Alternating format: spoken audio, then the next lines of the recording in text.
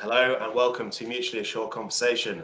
I am here with court astrologer and theatre kid, Glass Delusions, um, who um, has been on this before and has recently joined me and my co-host Owen Leishon on uh, Schizo FM. If you want a more uh, party atmosphere, fun time conversation, but today we're going to talk about serious stuff. So, uh, Glass Delusions, what have you been working on recently? What have I been working on? I have been working on something called meta historical systems analysis, which is basically just astrology. But we we call it meta historical systems analysis because there's a branch of astrology that is called mundane astrology, which is the astrology of global events. So it looks at the impact of the outer planets. So Pluto, Neptune, and Uranus sometimes Saturn, um, occasionally Jupiter, and how and those outer planets affect global situations. Like they are not those are not personal planets. They don't have the same impact on an individual's natal chart. They have an impact on multiple years in a row um, 3 to 10 to 200 years these alignments of these planets have, have effects. So they affect the world and that's mundane astrology. But when you start to when you start to look at history and you start to really like when you're looking at, at history you can also map astrology onto that and it becomes it becomes an interesting methodology with historical analysis. I mean arguably like historical analysis you you are looking at a chain of events. You're looking at geopolitical contexts contexts of like what's happening uh, you know, to certain people at a certain time, to like so, like important people in politics, you know, and and and you're looking at all of you're sort of analyzing as a historian all of these outside factors that are causing um, or, or adding uh, different factors into to create this, these chain reactions of, of, of events basically. And but you can do the same thing with astrology and you can say like well in the 1760s um i actually this is i'm i'm ill prepared with my dates here but like in the in the late 18th century casanova is uh you know this poly- polymath renaissance man in venice and then you can say like what was happening what was happening with the planets at that time and how are those planets arranged next in the future? And you can say like oh well they were arranged the same way the planets were arranged the same way during the early 20th century as they were when Casanova was around. And so in the early 20th century, you have these artists who are these uh, burgeoning modern artists who are like creating their own kind of like new renaissance of the West kind of thing. So do you see what I'm getting at? That's a very complicated, circuitous description, but you can sort of analyze history through the lens of astrology. And that strengthens yeah. your prediction yeah, I, I, I, see your I see your point. I, I wanted to kind of zoom out a little bit and just think about um, his I guess the study of history in general. Um, I suppose listening to some of your other podcasts, I was just thinking about how different views of time, like what time is, actually impacts the way we see history. I mean, to give um, so the kind of academic answer I've heard a lot, and I don't know if you agree with this or not, but the academic answer is that pretty much everywhere across the world, every single culture has viewed time cyclically in some sort of circle, right? Or mm-hmm. some sort of wheel shape, some sort of wheel shape. Um, mm-hmm. But the West is unique in the fact that it seems to um, implement these linear histori- historiographies where, and, this, and then this comes into metaphysical assertions about time being a thread going one direction, time being a sequence of you know events that follow each other in in a, in a big chain. Um, and I suppose that so to give examples of kind of the linear view, historical view of time, which has both philosophical and secular and religious kind of interpretations in the West. I mean, to give the obvious religion one, the um, you know Christianity has a linear historiography in it. You know, it's got um, depending on where you start, it, it, you know it starts with the Genesis story. It goes goes through the story of uh, Christ, and then you know we are somewhere between the story of Christ and Revelation, basically. Mm-hmm. And it's interesting how I think that this carries on into, I guess, so-called secular Western views of history. I mean, such as um, you have the Hegelian view of history, where, or I guess, I, I guess it'd be more fair to say the liberal, the Whig view of history, where um, history is an event of human progress, where humans are separate from animals and nature. They have their own separate thing, and they are forever progressing to a brighter future. And then you obviously you have the Hegelian view as well, which is that um, history is a system of, of dialectic, and it is inevitably approaching this this point in the future. But what I wanted to point out about these these views of history, like Western views of history, is that they view these things as inevitable. Mm-hmm. I don't know. I don't know if you have any reflections on that, basically.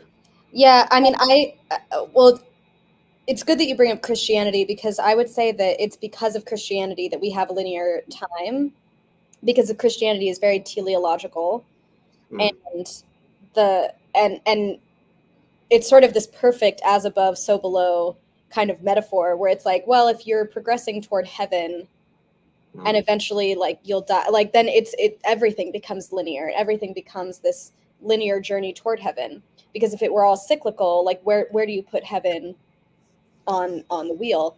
Um and and so I think that I mean my uh, go to re- sort of reflexive answer here is to say that it's uh, symptom of the age of Pisces, the mm-hmm. Christianity, the Christian Christianic age, um, and and so that's of course going to dominate.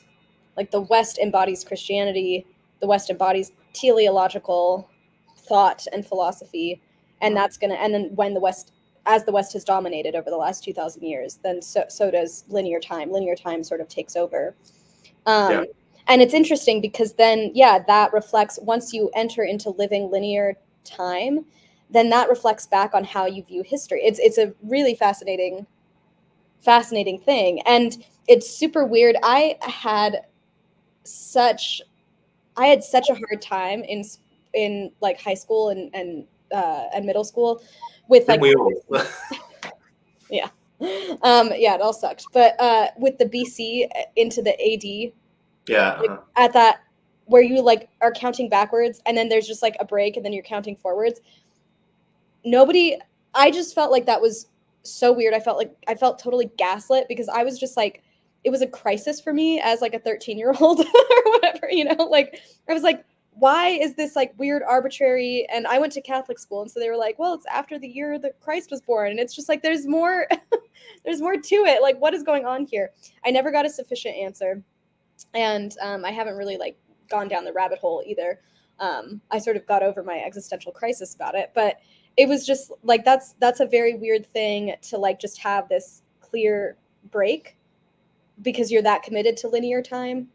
Mm. It's it's a bit ridiculous, but also the other the other thing I, I think that I've maybe talked to you about this before, but um, I've said it before on other podcasts. Uh, linear time really takes a, its hold on western society with the introduction of electricity as well because like you can't even if you're even if you have this like teleological sense of being and you're always striving towards something and progressing that like you're still your day-to-day life and your calendar life is still a cycle. You still mm-hmm. have all the four seasons and and the cycle of a day like crescendos from dawn until dusk again. Um, but then when you have electricity you can extend daylight forever and it's just this or you can ex, you know you can just go on and be in the daytime. Um so yeah that is really when linear time like you can't that's a point of no return kind of thing. Yeah. I remember when i was younger and this probably says something about my level of intelligence is that when i was told about bc and ad i was always like i bet before ad they were like really really worried about what was coming up. Because obviously they'd be looking at the date and it'd be counting down. It'll be a while to put the, put things together on that one. yeah. Well, but in in a sense though, it's it's interesting because in a sense like there were astrologers who were sort of counting down to that to that moment sort of. I mean, there were astro- like that's biblically documented as like the the magi, the three the three wise men who are counting down to a specific astrological alignment. Um and and then it's only just you know 300 years later that the early christian church actually institutes the birth of christ as like this break in time. But um but that's the interesting thing too about cyclical time and like what you look what you're looking for what you're what you're anticipating is like there's cyclical time people tend to I think that people maybe impulsively shy away from it because they're like cyclical time doesn't make sense because then everything would just like repeat and everything mm. would look the same. And it's just like well the seasons look the same but they they don't repeat exactly. It's just it's a rhyming. It's sort of like this it's not a flat circle. It's a spiral that is you know you're either ascending or descending but it it never actually looks exactly the same. And but that's the thing too is that like with um when you're when as an astrologer when you're anticipating these major alignments you know the the planets go in this um in like a cl- like the the planetary cycles go in sort of a clock motion where it's like the the planets align and then they make a 90 degree angle to each other and then they make their opposition to each other and then they have their like fourth or third align uh, square alignment and then they meet again and so i don't know you you even though it's a circle like you still have these moments that you're counting down toward yeah in a way that yeah there's still anticipation well it just it shows how powerful the psyop of linear time is you know it's just as just as powerful as the morality of christianity is is these the psyop yeah. of linear time and I would. I just want to. This is a. This is a weird philosophical aside, but I want to get this out of the way so more people know about this. The whole the this quote, "Time is a flat circle," is often misattributed to Nietzsche. Okay, and it's Nietzsche didn't never said that. Okay, never said that. Um, it is a quote from True Detective. Okay, um, and there's something about Nietzsche in the show, but it's not really like actually based on him. But so so in Thus Spake Zarathustra, there's a there's a dwarf character. There's lots of weird characters in Zarathustra, and he says, "All truth is crooked. Time itself is a circle." But people often quote it to something like the genealogy of morals, like one of his polemics, where he's actually like putting that forward as a metaphysical truth. Huh. And it really irritates me because, again, people run into that conceptual difficulty you're talking about, where it must be Nietzsche's um, eternal recurrence, which again is is just simply a thought experiment about Amor Fati for him. It's not like a metaphysical assertion that all things repeat themselves. Like people really misunderstand this, and that's most most people don't actually read the fucking book, which is really annoying. Yeah, yeah, yeah. Um, but but basically, my point was that um, I, th- I think you, you, said this. You said this somewhere else, and I wanted to point out as a like for people who are struggling with this conceptually, you should instead of thinking about time being literally a circle, you should think of it as cyclical. So it's something like a conch shell. Mm-hmm. Like time is still changing and going other places, but there are repetitions within it that you know, like you said, like poetry, they rhyme in certain places. Um, but there's there's new stuff coming in all the time. Like it's still an evolving process. Still, time is still change. Yeah. And there's new people living in these. I mean, that's what's interesting about like thinking about mundane astrology and, and, doing historical analysis according to astrology is like there's all new characters that play on the world stage there's these themes that that you know play out that might be the same or rhyme um, and and these it, we it's best to think of it in seasons because that's just like where our minds are already at. Yeah. um, you know so you have spring and then a full rotation later you have spring again. And so you, the same sort of themes it's colored the same way but there's different people coming in. That's why i say like you know you have casanova who is this this renaissance man and making and like making waves with his like sense of humor and like trying to be this like trying to do everything, trying to do it like be creative, be a creative person. And then a few generations later, at around the same time, you have the the uh, early modern artists who are like also similarly trying to be like these flaneur interdisciplinary like i'm going to try a little bit of everything kind of kind of thing so you you just have different characters who are emerging and finding similar ways to express or like similar ways to like remix that season or whatever. Yeah. Mm-hmm. Um, I just wanted to. this is kind of this is kind of an open question, just because of my ignorance, but um, we have to point out that um, the age of Pisces, which uh, again, correct me if I'm wrong here, but it's unique among the star signs for being the sign of monotheism, right? Mm-hmm. Yeah, right. So, so that's good. Okay, that's good. that's kind of starts with, um, you know, the emergence of monotheism, such as Christianity, such as um, Islam, such as I guess you could argue the the Buddha is as well. You know, takes the mm-hmm. um, animisms of the East and you know general philosophies like Confucianism and stuff, and then unifies them in some way. Um, yeah. What we need to point out is that as you know, we're about hundred years from the age of Aquarius, and I guess it's, it's speaking about you know cycles and how the how time is reflected in the natural universe is that time with the, the emergence of the monotheisms that is the spring and summer of Pisces. That is it at its, at its height, right? And mm-hmm. right now we're in the winter of Pisces. Yeah, yeah. Which is reflected in our, you know, in our zeitgeist, in the fact that the, you know, the West itself seems tired, for example. Yes.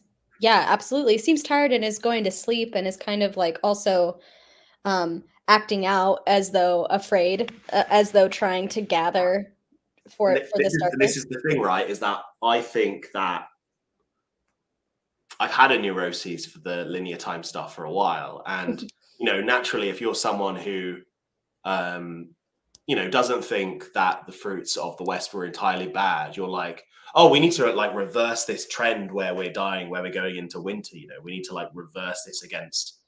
But it, if it's if it, if it isn't if cyclical time is true and there is actually a natural cycle where all things have their spring, their summer, and then they fall into winter, it's perhaps like an inevitable thing, and you should embrace the fact that it is the winter. Um, because another another thing that I've sort of realized is that you know, being a perspectival thing, there are actually cycles within cycles. You know, so there is absolutely. Um, there's a way to be a hero in the winter, for example. It's not you don't just you don't just get to be a hero in the spring and summer, right? Um, have you read the fourth turning? No, I haven't. You've meant it's on my reading list still. Okay. You've mentioned it. Yeah, yeah. Okay. I will. I will get around to it. I will. It's, it's interesting that you're using the exact same vocabulary that's in that book. I think I've, I've I've obtained it through osmosis through you and through other people. Yeah. I think yeah. lots of people I know have read it basically. yeah. Or kind of read it. Yeah, yeah. And and I can't uh I can't remember off the top of my head like exactly how um how the generations because he has this whole well it's the two the two authors have this whole they they map it out as these they map out cyclical time as the seasons and um you have the the spring is the awakening the summer is the high and then the fall is the unraveling and the winter is the crisis. And so um then you have generational archetypes and those are also in four um to, to map onto the season. You have uh hero nomad artist prophet i might be getting up the i might be getting mixed up the nomad and ar- artist but i think it's or maybe it's nomad and hero. I can't remember the exact order but basically they talk about how the how the seasons and the generational archetypes sort of go together. Like heroes come of age during a crisis and during the winter time and um and or or maybe they come of age during the unraveling and then they are the heroes they embody that during the crisis and then you have the nomads who are sort of wandering and exploring during the the awakening of the mm-hmm. spring and then you have the artists who are exploring and creating things creating new cultural movements in the summer during the high and then you have the prophets who are sort of coming of age in the unwrap you know so if I have the order correct, that's great. But that's the center, that's the gist basically, is that yeah, you have these archetypes who are coming of age at certain times and like express their archetypes during these during whatever season. And so like you can't you you are more prone to have heroes in a crisis, hard times, great men, or whatever. It's also yeah. like follows that. Um, what's interesting about, and of course, and yeah, we have talked about this, like you can map on certain um, astrological significations to these hero, nomad, artist, prophet, generational archetypes. Um, it it it maps pretty pretty well onto astrology. So again, there's just like my my collaborator on Twitter, known as Kali Yuga Surf Club, is the um, the person behind this like spiral conch shell map of time that's based on the fourth turning. The met the he calls it the metasecular wheel, and um, and that's what we're doing. We're trying to map the astrological seasons onto this fourth turning based wheel and that is the meta historical systems analysis um yeah. but anyway yeah so so yeah you have like what's happening in the times what's happening in the zeitgeist is going to reflect in the archetypes who are coming of age mm-hmm. yeah what i think is interesting is that linear views of time tend to focus on material conditions and this kind of reaches its zenith in the extension of hegelianism Hegelianism, which is Marxism, which is literally just trying to um, is trying to you know make a scientism of material conditions mm-hmm. through um, through um, is it material dialectics? I don't remember what it is. Um, anyway, I don't like Marxism anyway, so it doesn't matter. Um, but since I've been thinking cyclically, I've been thinking even more archetypally, like because I've always, I've always, i've you know, I've always um, considered myself at least um, Jungian curious, you know, and I've always thought of ways to think about the world that are archetypal, to reflect on my dreams and stuff like this that are archetypal. But since I've been thinking about time cyclically, I've been thinking like just just generally about people and their place in the world, and my place in the world is more more in terms of archetypes.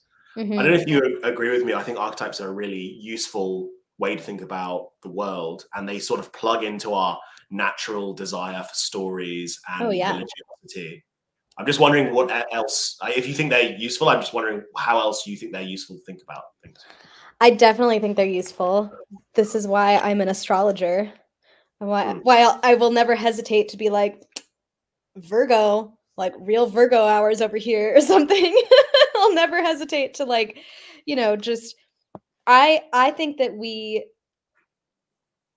have been disenchanted because of the material dialectic, because of material materialism and this like overly uh like simplified narrowed down narrowed down world that we live in now. Like we have become disenchanted. We and what's missing in the way that you re-enchant yourself is to mythologize yourself is to and to mythologize your your history as well too like you know where you came from what sort of like narrative struggles. If people did even just personal genealogy of their family like they would you would start to notice these really crazy like if you go back to like your grandparents generation um you know because children and parents don't don't they're they're too parallel they're too they can't really see each other. But if you go back to your grandparents generation or your great great grandparents like you'll start to see certain themes that like repeat themselves and that's like cycles within cycles.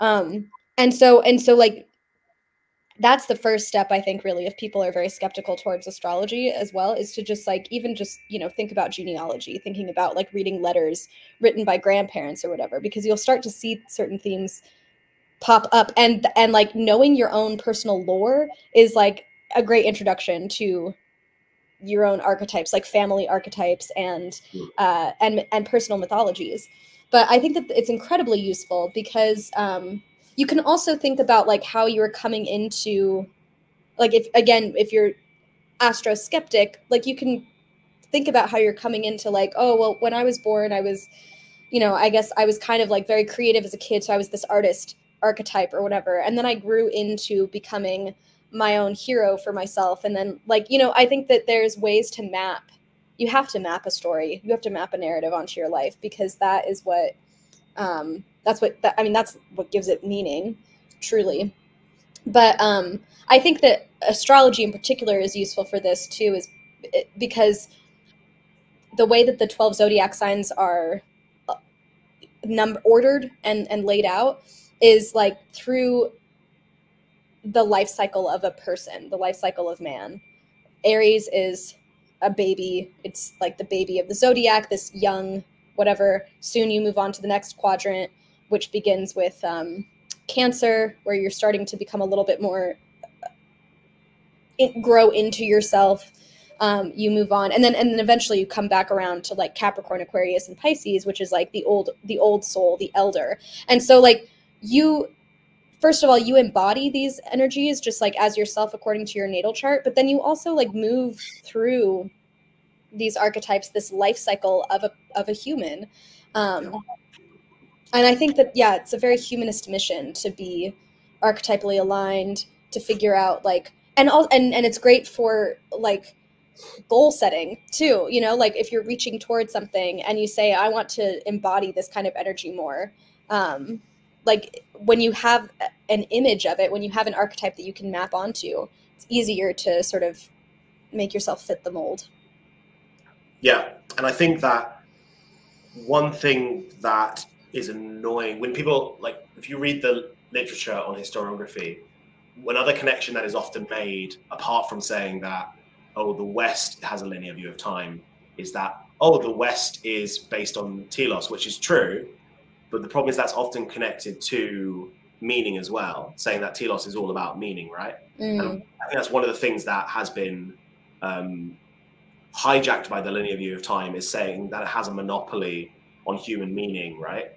And you know that has its really odd like bastardized forms where people view their own personal time as a um, struggle to get a um, mortgage and then that's like then that's the telos you know that's then their life is complete you know? Or you know you work hard all year and then you get to go on vacation for a week or you work hard your entire life and then you go on retirement. That's the telos of time. Um, Yeah. what you realize actually if you do well people work hard all day just to get to five o'clock so they can have a drink right? Um, but when you look at like the when you look when you think about things well the truth of the matter is those things aren't actually linear they're cyclical. Mhm, you know, like- mhm. like the, okay yeah you get to five o'clock and work's over but guess what happens tomorrow morning you know? Exactly everything exactly. starts again right?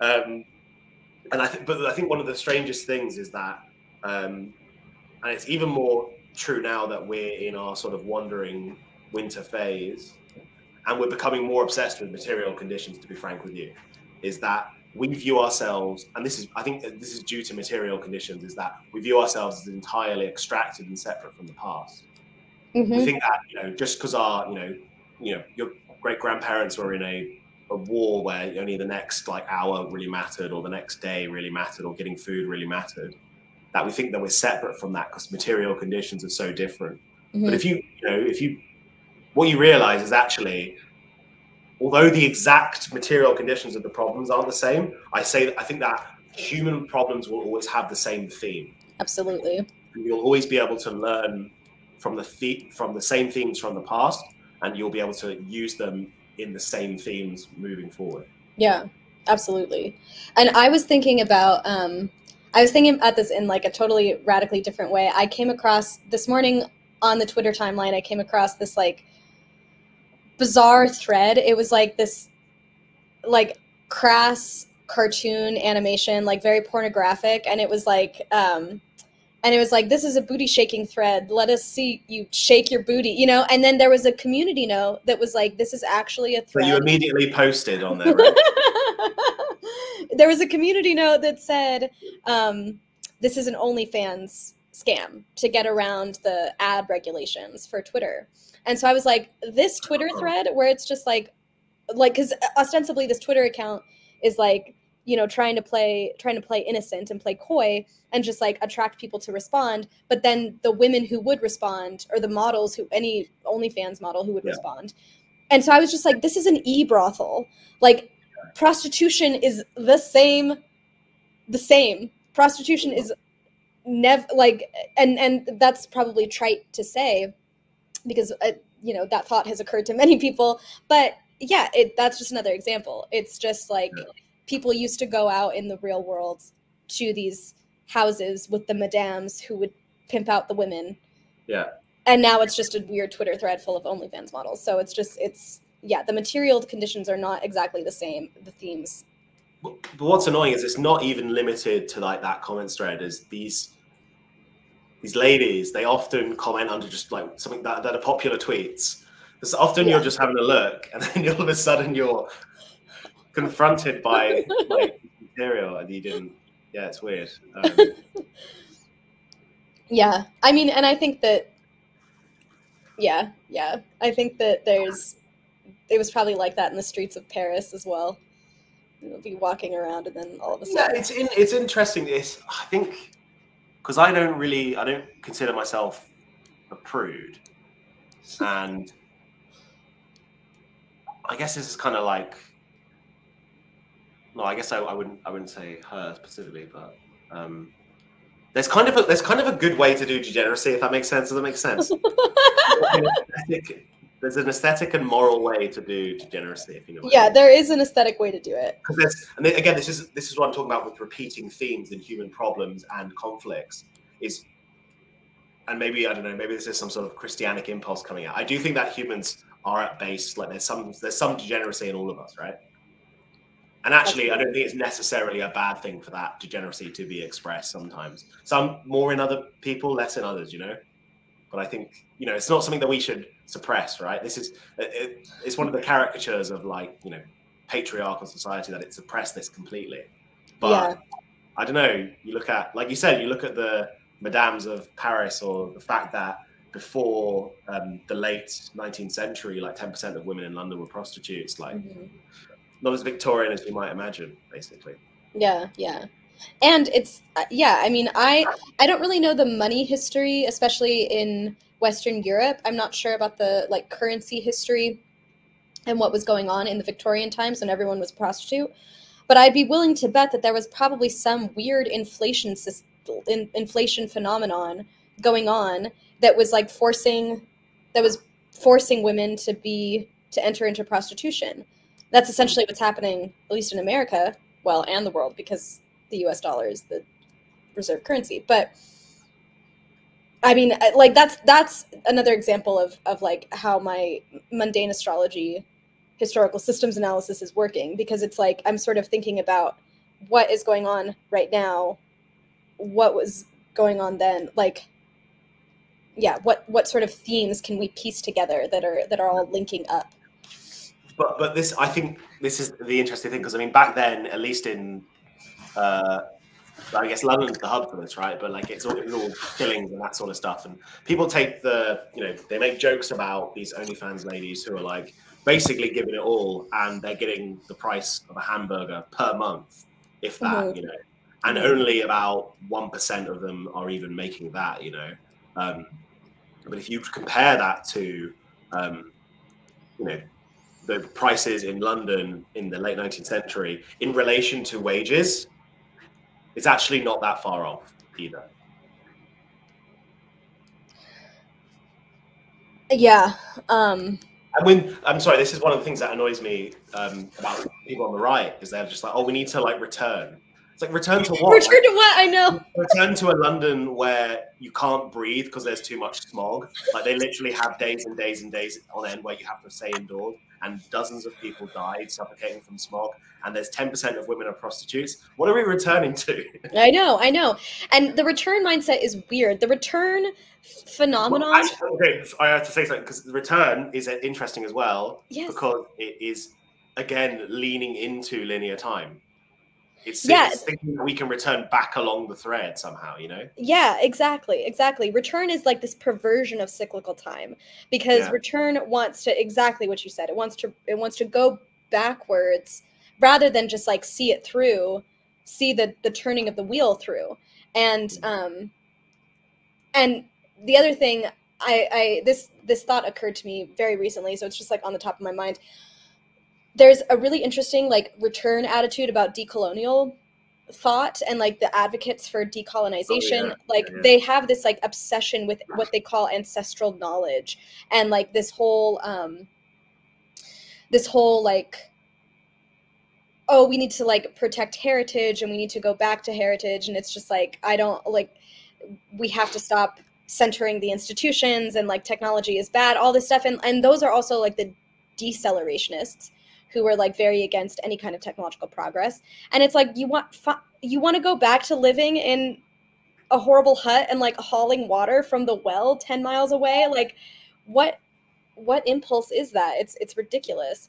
Well, Um, it's not an impulse. It's I, I think it's from the literature of the French Revolution. It's, it's the idea of the noble savage. This is this is Rousseau through and through. And lots of these people have never carried a five liter bucket of water Right. that far right, all- right. as well. I'm sure if they actually like had a lived experience of the thing, they wouldn't be so keen on returning. But they have this weird idyllic idea, and it's and it's got its weird, um, weird sort of perverse zenith in like the Marvel films, basically with this this Wakanda place. Oh my god, Like, yeah. like, like most of the anti-colonial academics literally believe in Wakanda. It's yeah, it's this weird That's like theology. it's their Atlantis. Oh like, Yeah, it is. Yeah, they take they take the mick out of us looking for Hyperborea, but you guys are looking for Wakanda. Come on, guys. it's not that different. it's true.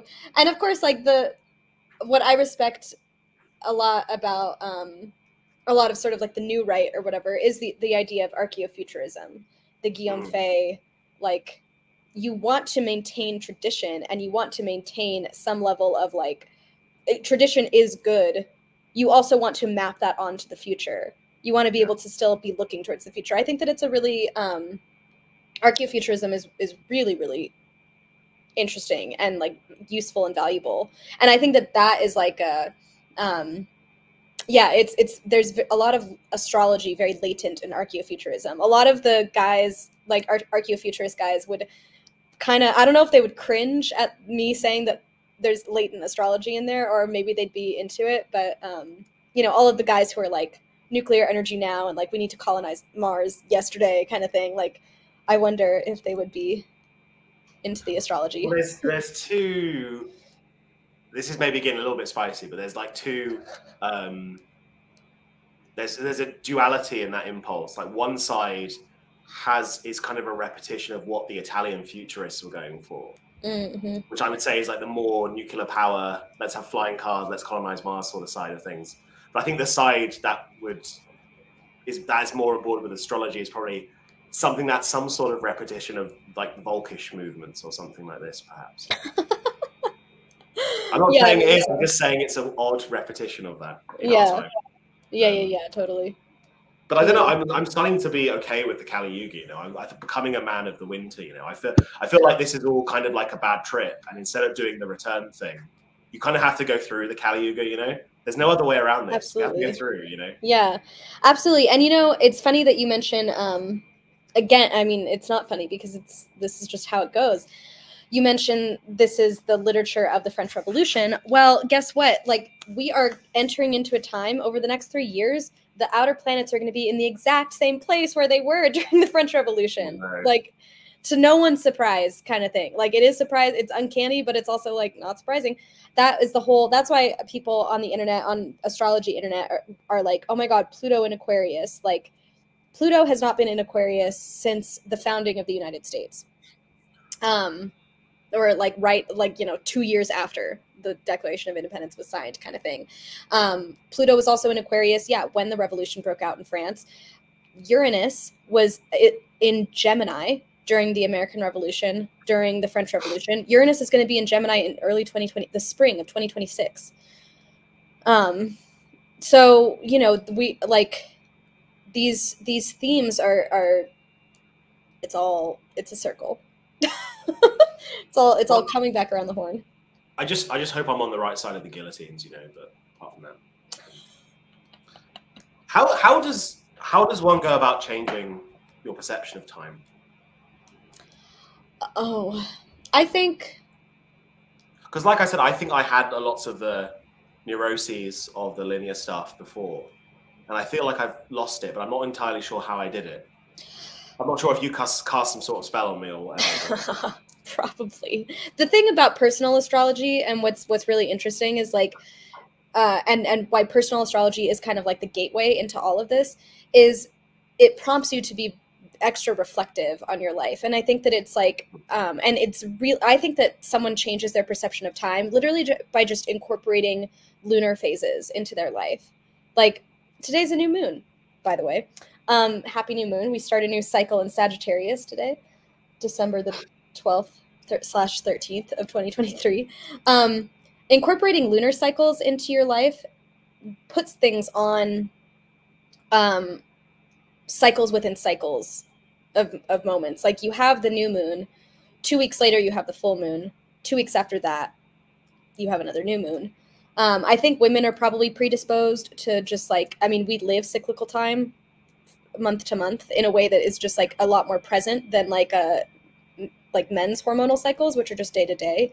Um, so that's just like an aside, but um, but yeah, so incorporating the lunar cycle is really important. Um, every month there's a new moon. Every two weeks there's a lunation. But then more than that, you start to get a deeper understanding of things and you know that the new moon actually initiates a cycle a six month cycle so today's new moon in sagittarius initiates a six month cycle for whatever themes sagittarius rules over in our lives and so if you can if you can sort of track that and be thinking about it six months from now in early June of 2024, we'll have a full moon in Sagittarius, and you can sort of look back and say, and take stock and say, well, this was what was happening in my seventh house over the last six months. This is how I've developed. And then you, and then at the next new moon, you say, like, I'm going to plant the seeds over the next over the next six months for this for the themes of my seventh house kind of thing and so i think living by the moon is the first step Uh-huh. Um, yeah Oh, sorry. I have a yes How is that any different from the sort of person who has a LinkedIn profile, putting in a calendar like reminder every 30 days to check their personal development goals? it's not it's not Okay. any different because but i think that someone's personal development it's it's the same. I think someone's personal development goals also is kind of teleological in the sense that like um oh i'm gonna um like i want to do x y and z in my career. I'm gonna like strive for that promotion. Oh i got the promotion. Now i'm gonna like think about the next one and what's the next thing and like what's the next salary raise whatever. Whereas like with astrology you're sort of every single year around this time me personally i'm thinking about my seventh house themes of my seventh house because it's around this time that the sagittarius new moon is happening.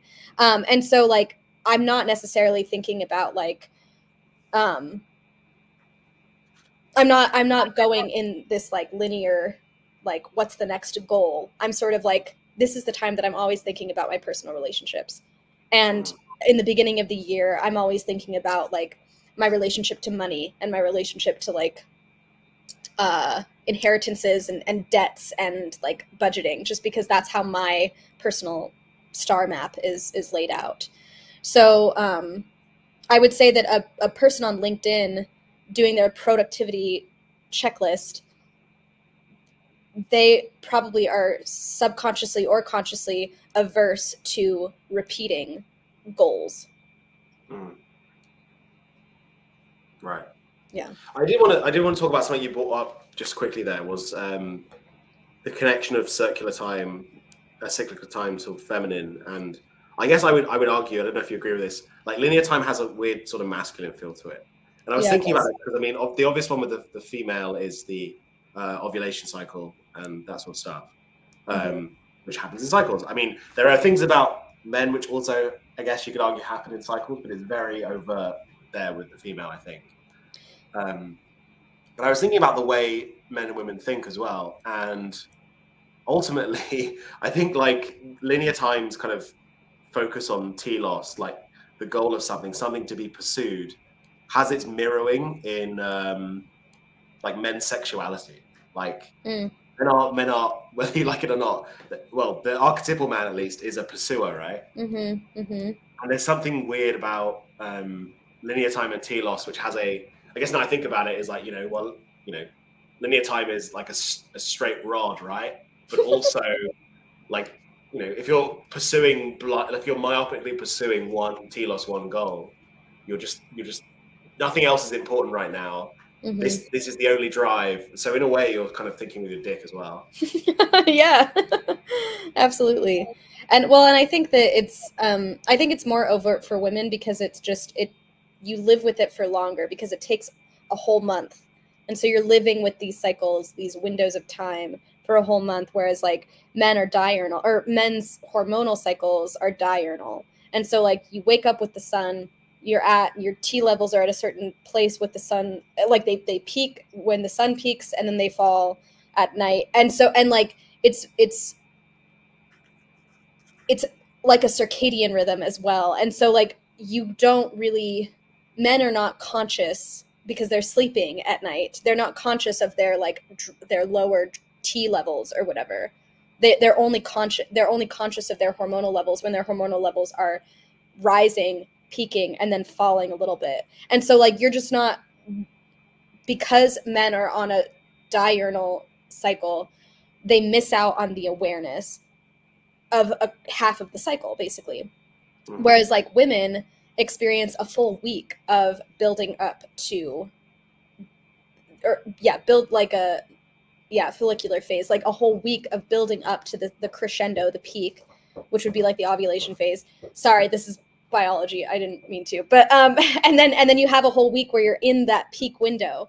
And then you have another week where you're feeling it uh where you're feeling it die down decrescendo. And then you have another week whoa my cat um and then you have another week where you're like totally in the like you're dropped and you and you don't feel it's like the low time and you're very you're always aware of it because you're living with it for 7 days at a time whereas like when men are asleep they're not really aware of half of that yeah Yeah. Mhm. Have you ever heard of uh, the Juche calendar? no i have not So Juche is the ideology of North Korea, which is roughly translates to self-reliance. And basically, they decided they wanted their own calendar, so they did the Juche calendar. So it starts in uh, 1912, which is the birth of the eternal leader Kim Il Sung, and so it's currently um, 112 in Juche because they just took the Gregorian calendar calendar and just like shifted it. Shifted it. They didn't actually change the days or anything, which is a bit weird.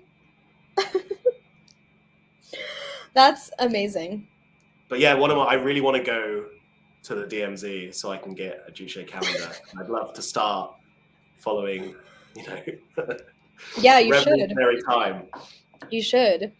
It's so it's super interesting. There are a few um in New Mexico, there are a few farmers uh, who still observe, who are like Orthodox Christian um, farmers, and so they still observe the Julian calendar, Yeah. and um, they will have expiration, like on their products, they'll have expiration dates that are set to Julian time, Mhm. and I see this in the co-op occasionally. Looks re- it's totally foreign to me. It looks it's amazing, but it's yeah. Um, and so I guess like if you wanted to change your perception of time, like you can cut out all the self development, self improvement crap, and you can just like start day one and like forget, like name your own, just make your own calendar. That's one way to do it. But I mean, to come back to the the the themes of not repeating mistakes, you know, it's- maybe you'd be better off borrowing from some past tradition as opposed to Yeah. just being like, my birthday is the year. Oh my god, yeah, yeah. I, this is a big. Um, it's a way bigger research topic and research area of interest for me. Um, like specifically, like the rabbit hole of the Gregorian calendar is completely insane. There's so many. Like when they, I mean, they they fix the vernal equinox, which Yeah. is weird, and then they choose in at a specific during the Council of Nicaea, like Gregory he's you know 500 years later from the council of nicaea in 325 ce and he chooses that vernal equinox. Like that's the vernal equinox that has to be fixed. And like what's the reason behind that? Like it's just um yeah there's there's societies cultures their calendars such as the Juche calendar that are like i'm the emperor we're going to start the calendar on my birth year and that's it. Um, but then there's something that's way more calculated, like the Vatican Hmm. and the Gregorian calendar, and um, it's like some serious magic. Because and yeah, when you change your perception of time, you change your like that's magic, and you completely, you completely change the way things play out. Have you heard of um, ideas around uh, retrocausal. Oh, I'm not gonna remember the phrase right, but it's like retrocausal phenomenon phenomena. Um, it's this idea that like you like basically like meditate your way back into the past and you like you cha- like I don't know ideas around retrocausal time are really crazy. I'll just Sounds- leave it at that. Sound- I'll be honest, sounds a little bit woo woo. It is. I mean, it is. But there's also the the thing. It is woo woo, and like, I can't. I'm not explaining it in the technical terms. what you're saying. But there's also like, I mean, scientists are also studying this too, and like, and and they they are trying to analyze like time systems. Have you heard of the Santa Fe Institute? No, no, no. those freaks are so weird um bizarre bizarre institute in the mountains somewhere in santa fe nobody really knows like where they are nobody really knows what they do but they have these like symposia um a lot on time and like predictive analysis like they they try to map time like they are actively studying this and they're also studying retrocausal where like if you can create i guess it's sort of like if you can create a simulation of reality and you can put someone into a into a simulation like they can affect that affects the future because you're like affecting i don't know it's it's weird Uh-huh. I need to do some digging on that. i didn't That's that's another topic for another day. I don't know. i didn't expect that to come up in conversation so i didn't read up Um, what is so? I just I, I did want to dig on this a little bit. I know it's a big rabbit hole, but I'm, what is the benefit to either Pope Gregory individually or the Catholic Church in locking the vernal equinox? What is the benefit to them? Um, I think it. I mean, on my soapbox, I'm going to say there is no benefit, but um, it's about the perception. It fixes your relationship to the sun, and I think that it has. Um, it makes agricultural mechanisms a little bit more stabilized. Okay. Um, someone, another. I was having a conversation with another person a while ago. It probably possibly standardizes the expectations of economic output, especially in an agrarian society, Yes. right? yes. Okay. Yeah. Yeah. Okay. That's a great way of putting it. Yeah. Yeah. So, you know, it's all about, at that time too, it was all about our relationship to the sun and wanting to, ma- wanting to maximize it. Um, the, the time that we have with the sun. but yeah, it's interesting. I mean, again, I said in an agrarian society for a reason is that we no longer live in that society. You know, we have uh, hydroponics, greenhouses. Like, there's you can get any sort of fruit and vegetable at any time in most places. Um, You can go that's live in good a thing spaceship. not, I don't know. It's a different different question, right? But Mhm. it almost feels like we do need a new conception of time for I don't know, maybe you know, for the future, you know, for our, our, our burgeoning world. I don't. Maybe we could maybe we could split up the days into TikTok size segments or something like this. Oh, well, and I, this is the interesting thing, and I don't, I'm definitely can't, I'm not technical enough to speak to this, but like the math of Bitcoin, cryptographic cash system, it's also a clock. Bitcoin is also Yeah. Mhm. yeah yeah um and so a lot of people like the really hardcore bitcoin maxis will be like this is how we're going to tell time once we've Yeah. reached hyper bitcoinization it's going to be a bitcoin clock and calendar Yeah. Well, the, the, the, the thing is, and people don't realize this. I think it's it's very opaque, and I, unfortunately, I think it's because of the stuff Nick Land's written on it. But there is huge like philosophical implications for just our metaphysical experience of reality in general, from the fact that um, Bitcoin is interfacing with reality but tracking time at the same time. Yeah.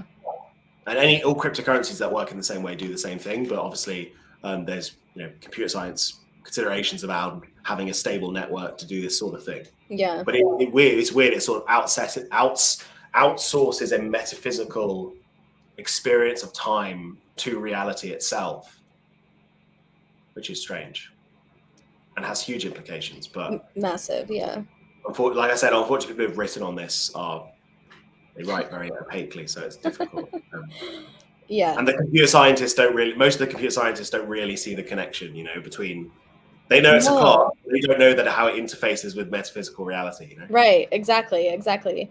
They know it's a clock, they know that it's gonna and and oh yeah. Once you start mapping yeah, whole other rabbit hole. Cause then once you once you start mapping astrology onto it, then it's just like a whole other whole other situation. It has huge metaphysical implications, but it just yeah, has astrological implications as well. Um and one has to wonder was Satoshi an astrologer, which we've asked We- We've spoken about this. Yes. but yeah it's um i do think that uh, uh, in the same way that there's the pyramids of egypt the pyramids of mesoamerica um, and like things like serpent mound all of those things like the way that those are so en- enigmatic like they were i f- they're the same way as like they have the same sort of properties as bitcoin like they interface with the reality and are also telling time based Yeah. on their align celestial alignments. Mhm. And so I don't know, a hundred years from now, a thousand years from now, the Bitcoin network um, will be antiquated, but it'll be enigmatic like the pyramids were. Right. Yeah, and you can also imagine. I mean, if the Kali Yuga really does go tits up, you know, maybe people will like archaeologically look back on Bitcoin like they do look on Stonehenge and wonder wonder what these strange um, digital megaliths are for. You know, what's the Mhm. purpose of these things? They seem to track something, but we don't know what exactly. They seem to track uh, bored apes and Yeah, strange uh-huh. anime miladies. I love, I love, you know, humanity's great. They have, we have all these amazing technologies. You know, the philosophers and the scientists come along with, you know, this interfaces with metaphysical reality. Look at all this interesting stuff we can do. We can have cryptographic voting that's public and secure, and, and then people are like, you know, using it to watch pornography. It's like, Yep. cool. the or like ninety-nine point nine percent of it is being used to watch pornography. The arc of humanity will always bend toward degeneracy, and that's why it is important to make it to make it aesthetic. It's an important aesthetics are important because degeneracy is going to be the rhythm through the whole through the whole human history. So you might as well make it pretty. yeah, I mean, in a whole like don't meet your hero sort of way. I hope we never find out who Satoshi is really. I hope it's like kind of buried enough now that no one will ever know. I hope it becomes like a King Arthur sort of thing, you know? I think it will. I th- I truly think that it it's I on that trajectory already. now for it to like be known unless it was deliberate, right? Wait, say that again. I missed. I think like enough time has passed for it to be unlikely that it will be uncovered unless it is deliberately done so, you know? I think so, and I think that it. I think that that was also like a part of the plan too, to be Probably. to be pseudonymous, um, and which is again like marking the importance of um, mythology and self mythologizing, and making sure that there's um, that there's an air of mystery. I mean, nobody nobody really knows who Hermes Trismegistus is or was um, and like the Kybalion is published under the three initiates. It's not published under authors, kind of thing. And that's like that. The. Kybalion is like the most important esoteric occult text there is. So Well, I mean, likewise, I mean, we we know a lot about it because it's one of the most studied things ever.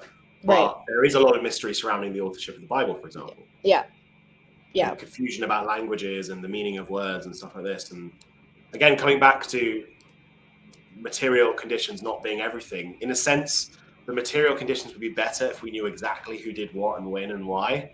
But it, uh, but coming back to the archetypal nature of us, our fallen selves, it's almost better that we don't know. It, it adds to- which is strange and so counterintuitive, but it's true. Yeah, but it's true. And also, an interesting thing about the Bible is um, the four gospel, New Testament gospel authors, Matthew, Mark, Luke, and John.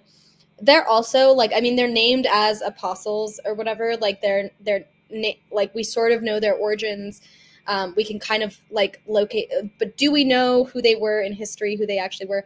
But Matthew, Mark, Luke, and John, the way that they are depicted, like illustratively, they map onto the fixed signs of Taurus, Leo, Scorpio, and Aquarius. and like and and that's for a reason as well like it's that's yeah that that's that's for a reason as well. And so like it's intentional but it's like kind of obscured. And so and like and you have these identities that just kind of like you have these identities that morph into archetypes that morph back into identities that then yeah. Yeah. I, I, I suspect there's more. I mean because a lot of it was written in greek and there's an obvious connection. I suspect there's more to the connection. I mean maybe you can tell me about this. I don't know because i'm ignorant about it. Maybe i think there's more to the connection between deliberate astrology and the Bible that we probably know, and was probably retrogradely changed or suppressed by the later church, you know, as a yeah. rival, as a rival faction, perhaps. Yeah. And I don't even know if it was a rival faction. I think that it was just a gate kept thing. I heard, I, okay. Well, okay, I'm going to finish my thought and then I'm going to go on the other tangent. But, um, uh, it, it was, astrology was very much incorporated into the early Christian church. Um, and it was because because astrology was just like a background daily practice. Everybody knew high highly educated mathematicians, physicists, scientists like they you had to know astrology in order to be a worthwhile scientist in antiquity. And so um as you're trying to establish and maintain a whole new religion, you're obviously going to incorporate the practice of the time. You're, you want to, and and the early Christian church wanted to um, was also full of educated people so there were definitely astrologers as part of it and then you get into um, the like renaissance period and you have this like and and you i can't remember exactly which pope it was um, but it was around it was like around give or take a century around the gregorian calendar time um, when they like made astrology right excommunicable yeah, yeah. and so but my theory is is that like what actually happened is the church, the Renaissance church, absorbed astrologers into their enclave, and most of the cardinals, like or or other high level clergymen, were astrologers in secret. And then they had to go on this like crusade of like excommunicating astrologers or even killing killing them um, to make it seem like it was a rival. But I think that it's like I, I think that it was very much still wrapped in at that time. The other thing, the tangent that I was going to go on, I have no idea if this is true because I never looked it up. I should at some point if I remember. I always kind of forget it. But I was I was in Roswell at the UFO museum, and uh, there was this like UFO researcher guy, um, also one of the like builders, founders of the museum, and he was giving a lecture. And uh, he's full on conspiracy theorist, like, but also very like measured and grounded man and like very much like he has a healthy skepticism about lots of different like UAP UFO videos on the internet. But anyway, he mentioned I forget the context of the question that another person had asked him that there are there's the four largest telescopes in the world. Two of them are owned by NASA. One of them is owned by the Vatican. Mm-hmm. I don't know if that's true. right. Okay. Uh huh. Uh huh. But I was like, holy shit. um, is it actually in the Vatican? That's what he said. Okay. Is it a modern telescope or is it like a? I don't know. I don't know. I, I never looked it up because I was just like so, I was so delighted by that little factoid. And I was like, I, I think that I've kind of been avoiding, subconsciously avoiding looking it up because I don't want it to be fake. uh huh. Yeah, that's, that's the issue. I, I often don't look these things up and start telling people facts that I've been told and then never, never true. So, uh, yeah. no, it's bad. cool. Before we before we wrap up, I did want to ask you a question. Where, where does the pseudonym Glass Delusions come from? Does it mean anything, or is it just one of those random ones? Um, it means something. So the original, like the actual definition of glass delusions, is it was a mass hysteria event in the 19th century where young women um, thought that their bones were so frat were as fragile as glass, so they were afraid to go outside. They were afraid to injure themselves because they thought that they would shatter into a thousand pieces. And um, that's, yeah, it's so mass hysteria, glass delusions. And then also, um, I started to I started to realize something about the way that people project on Twitter and how like you sometimes sometimes you say things and it hits this like resonance or that's maybe the a wrong metaphor because that's sound and, and mirrors are sort of are, are based on light but it hits this kind of like refraction or it hits the light in just the right way. Like sometimes you tweet things into the void and people will just like run with it and they just project onto you. And people will get like I find that what makes people the most angry on social media is when they see themselves reflected in some sort of like truth. And and so like glass delusions is sort of just about like you know what how are you like how am I using social media to sort of obscure my own reflection or make it more clear? Um, i ask myself that question. And then also when i um, and this is like the personal uh, spin on the on the pseudonym. When i take road trips around new mexico which i have to for my for my work i carry around a very large mirror with me and i'm always like and i always try to like photograph like the landscape reflecting off of the mirror without me in it i try to i try to photograph that as just like an ongoing sort of collage of my relationship to the real world and like but then also my own absence from it Mhm. so, So anyway, is there anything you're working on that you want to plug right now? um not at the moment you can no, i'm nothing no huge project is coming up. Yet um you can subscribe to my substack which is at cosmographics.substack.com Yeah. um you i put out a digest of astrological news. It's pretty good. Thanks. Cool. yeah. Well, happy uh, almost winter solstice. Happy new moon and happy almost winter solstice. Well, you have to tell me when we're gonna post this, when the perfect time is. Oh yeah. Oh yeah. Maybe we I don't know any of that stuff. Yeah, yeah, the winter solstice will be December 20th or 21st. Um oh, actually one thing that I will leave people with. And, and this is another way to like change your perception of time. Um so this is a practice that is like across lots of different Western European folkways. So like this, you can find this everywhere. In Spanish, it's called cabanuelas. Um, I'm not sure what it's called in like any sort of like po- folk, uh, uh, like pagan folk religion. I'm not sure. I've I've only heard it sort of people call them omen walks or something.